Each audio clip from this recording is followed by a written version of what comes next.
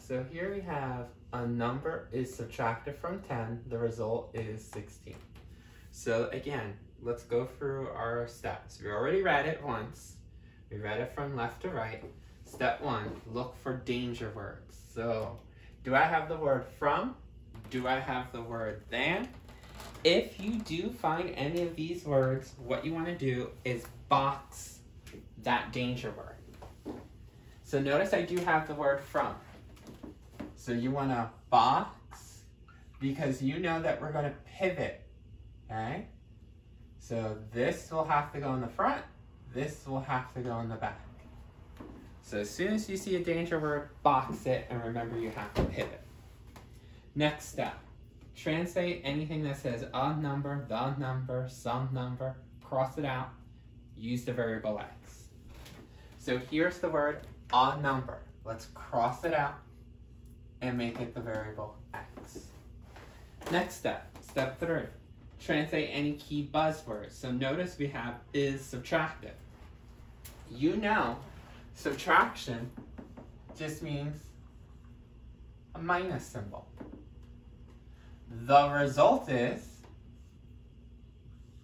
there's your equal sign. Now remember, we're going to rewrite this using only letters, numbers, and operation symbols. So you probably noticed that we have the word 10 and the word 16. You can cross them out now and put them as numbers. Anytime you recognize this, you can rewrite them at any time. Okay. okay. Do we have any and statements? No, we do not have any and statements in this problem. So our fifth step is rewrite the problem. We're only going to use letters, numbers, and operation symbols, which is good because everything else got canceled out. Every other word got canceled out or boxed. So normally we would do x minus 10 equals 16. But remember we had that danger word? That's the reason why I tell you to box it, because if you go too fast and you didn't see it, you might have said x minus 10 equals 16, and you would have solved it and thought that x would equal 26. Oh, go slow. Because this is boxed, uh-oh, pivot. x means to go back, 10 means to come forward. So it's actually 10 minus x. Only in this phrase does it pivot. Once we hit an equal sign or a comma, we're done with the flipping. We can continue. Equals 16. Once you have your equation written, notice there's no words, just numbers, letters, and operation symbols, you can solve. So you know this is a regular equation, so you have a left and right hand side. You probably already recognize this is the only side that has variables. This must be constant you know that this 10 needs to move, so the opposite of a positive 10 would be a negative 10 to both sides. You know, these cross out, so you have negative x. Remember the negative is still there. The subtraction is still there. And then you know a positive and a negative, you got to do difference. So we're going to get a 6. Why is it positive? Because remember, 16 players beat 10 players. So that's why it's team positive. We're not done yet because we don't have x by itself. You need to get rid of the negative. Remember, there's an understood 1 in front. So to get rid of a coefficient that's negative or negative 1, we divide both sides by negative 1. And we finally get our answer of x equals negative 6. Okay? So you got to be careful when you have the word from or than. The reason why you have to be careful is because when you're dealing with subtraction, subtraction from, or less than, they're not commutative. You have to have them in a certain order. Because remember, 10 minus 2 is 8. But if I flip the order and put the 2 first, 2 minus 10, you get a negative 8. You get two different answers. So order really matters when you have subtraction and the danger word from and then. Let's look at our next problem here. The sum of a number and negative 7 is 2. Okay, we read the problem. We went from left to right. We're going to look to see if there's any danger words. Nah, I look at it again and I don't have any danger words. I don't have this word from, and I don't have this word than. Next, translate anything that says a number, the number, some number. Just cross it out. So you see I have the word a number. Cross it out. That's going to become the letter X. Then next, we're going to translate any key buzzwords. So do you see anything that would automatically make you think of an operation? Well, is over here is your equal sign. The sum of means we're going to be adding some items. And maybe that negative sign, negative, you can cross out. Because negative 7, written as a number, would be just a negative sign and a 7. And if you want to take care of the 2 right now and put it as a digit, you can. So I got rid of most of those key buzzwords. The next thing I want to do is look to see if I have the word and. And this right here. This is the first guy that has an and in it. Now, what are we going to do with this and? We have to determine what type of and is it.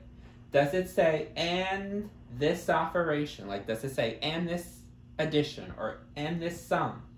Or is it by itself? Is it an and that is separated between two variables or two numbers? Let's see. We have an and. What's in front of it? A letter. What's behind it? Negative 7. So when you have a letter, a variable, and a constant, this is a plain and. Okay, so that's this first and here. It's by itself between two variables and or constants. So it's between, for us, a variable and a constant. Then what do we do? We act as a placeholder for the operation that precedes it, or basically precedes it is a fancy way of saying what's in front of it. So this and doesn't necessarily mean addition. Okay, I think a lot of people think if I said 7 and 3, they automatically think that it has to be a plus sign between 7 and 3. And it's just a placeholder. So whatever operation that's in front of it will go there. So if this one said the difference of, then this symbol would have been a subtraction. Okay? And is just a placeholder. If this said the product of, then where you see the word and, you put a multiplication symbol. Because this one has the sum, this plus sign will go where the and is. Okay? Makes sense because how many operations do you know starts with the addition symbol?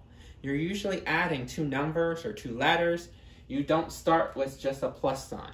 You don't start with just a division symbol. You usually start with a number or a letter first, then the operation. So this guy was out of order, and where it goes is where the and is. The and is that placeholder. So now we can rewrite. We don't put the plus sign because it's going to go where the word and is. We're going to start with the letter X. Then the plus sign. Negative 7 is this equals 2. Now that it looks like our traditional equation, then you can solve for the variable x. So all you're to do is variables on one side, constants on the other. You should know that this 7 needs to move over. It's not a variable. Additive inverse. Now it's a little confusing here because you might say, wait, what's the additive inverse? You have a positive and a negative?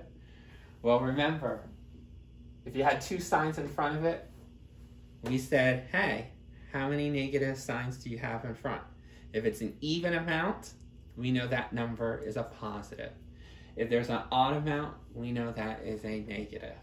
So when you have this, one negative, that means this thing is negative. If there's a negative here and a negative here, then we know that the 7 will be positive. So the opposite of a negative which means I would have to add 7 to both sides. These cancel out. And then 2 plus 7, they're both positive, so we add, we get 9. So you got to read these very carefully. And like I said, we finally got an and. And does not automatically mean addition. It is just a placeholder for whatever operation that's in front of it. So again, if this said difference, you put a minus sign here.